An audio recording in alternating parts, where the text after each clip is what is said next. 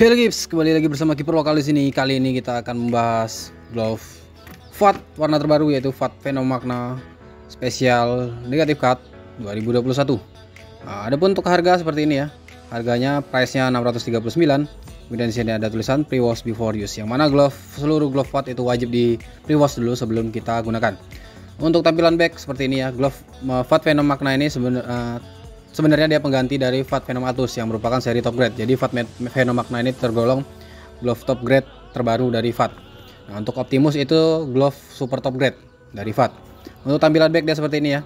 Untuk bahan backnya di sini samping dia nilon, di depan dia mika, kemudian di belakang dia juga menggunakan mika yang di printing. Untuk sizing segala macam dia ada di sini keterangannya. Kemudian untuk bagian zipper dia tidak full tetapi setengah. Kita keluarkan glove-nya pakai kemudian seperti ini. Nah ini sebenarnya ada plastiknya cuman udah kimin melepas plastiknya. Kemudian dia juga ada tagnya. Di sini ada label tagnya ya.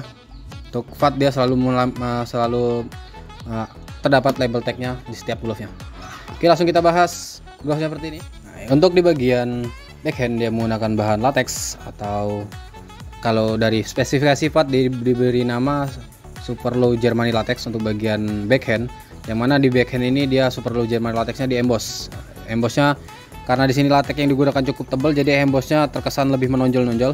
Kemudian di bagian body dia menggunakan bahan mesh sejenis mesh dry fit gitu. Yang mana di sini meshnya itu uh, untuk pori-porinya atau bentuknya dia menyerupai popcorn atau kalau ini kalau Kim sebut uh, mirip wafer wafer gitulah. Bolong-bolongnya cukup besar tetapi bahannya lebih lembut dibanding mesh Jagger kemudian di dua jari ini dua jari hmm, dua jari terluar dia menggunakan wrap latex yang mana terdapat logo FAT dan logo Magna.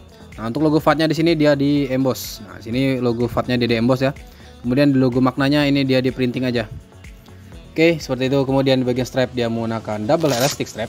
Nah, di sini menggunakan double elastic strap dengan desain strap yang didesain sendiri oleh FAT dengan tulisan-tulisan FAT seperti ini. Kemudian di ujung di ujung uh, velcro-nya dia ada uh, ID name. Nah, sini ada ID ini. Kita lanjut ke bagian palm. Nah, di bagian palm ini menggunakan latex super soft latex yang mana itu menurut Kimin dia setara dengan lebih sedikit di atas kontak latex secara tingkatan uh, maupun secara grip kayaknya lebih sedikit di atas kontak latex kayaknya tapi ya. Kemudian dia ditimpa lagi dengan sablon uh, latex. Nah, di sini bukan sablon sablon printing ya, tapi di sini sablon latex jadi yang digunakan untuk menyablon atau membuat corak ini merupakan latex yang mana untuk meningkatkan daya durability atau daya ketahanan dari lateksnya sendiri karena di makna sebelumnya untuk lateksnya ini cenderung lebih soft atau so, sangat soft sehingga rentan akan abrasi gitu. Kemudian di antara jari telunjuk dan jari jempol dia ada fitur V-Touch yang mana sudah menggunakan bahan likra. Dan untuk di bagian gaset dia sudah menggunakan bahan dia menggunakan bahan dry fit ya, menggunakan bahan dry fit yang diberi uh, corak sablon sablon pastisol gitu. Kemudian untuk cut, nah di sini cutnya merupakan gabungan. Kalau di keterangan dari FAT dia merupakan spesial negatif cut, tetapi menurut Kemin di sini lebih ke hybrid karena di sini dua jari terluar, dua jari terluar dia menggunakan roll negatif atau ya jenis roll gitu, tapi kemudian dijahit ke, ke dalam gitu nih. Untuk bagian sini ada jahitan ke dalam ya. Kemudian untuk di bagian atasnya dijahit uh, datar gitu. Kemudian di dua jari terdalam, dua jari terdalam ini dia menggunakan negatif cut reguler. Seperti itu untuk jenis cutnya. Kemudian di sini sudah ada fitur abrasion zone. Nah untuk seperti ini, secara fitting glove ini secara, secara fitting terus size aja. Jadi buat kalian yang menggunakan size 8 gunakan size 8 dan yang menggunakan size 9 gunakan size 9. Di sini Kimin gunakan size 9 karena di saat fitting kemarin cari size 8 lagi nggak ada. Jadi adanya size 9. Jadi ya sudah Kimin ambil size 9.